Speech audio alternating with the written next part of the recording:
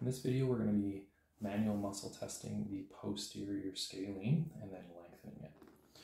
So I'm just going to show my partner and describe the actions for the posterior scalene. Because of its fiber direction running from medial to lateral, it really only does lateral flexion.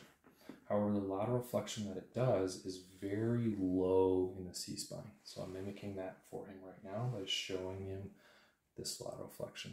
Be very careful not to include any upper and capital lateral flexion with that action. So it's just a lateral flexion to the low C-spine. Typically, because it does not include any flexion, we're actually going to leave the head on the table so they can just slide it across the surface. Good. So that would be considered the active range of motion for the posterior scalene. Because I want to provide resistance, again, mainly to the neck, we don't want to resist above the ear, so I'm going to go in behind and below the ear towards the base of the skull and onto the side of the neck. We're going to bring him part way through the action. I'm going to ask him to hold this position and I'm going to try to bring him head back towards neutral.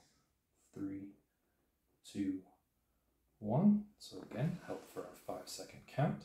And now he's just going to slide against my resistance as far as he can over to the side. Good. That also means that I can check his head to make sure he's not doing any lateral flexion during that motion. So that's really good. Because we do not have any flexion as a part of its actions, I do not need to have him off the table for the length of this one. It's simply going to be lateral flexion to the opposite side. So again, I'm going to go to a similar location and I'm going to pull the neck and head into lateral flexion over here. So remember in our length position, we're not necessarily trying to get a stretch, so I'm just trying to feel the end feel for that muscle. That's going to conclude the manual muscle test and length for posterior scalene.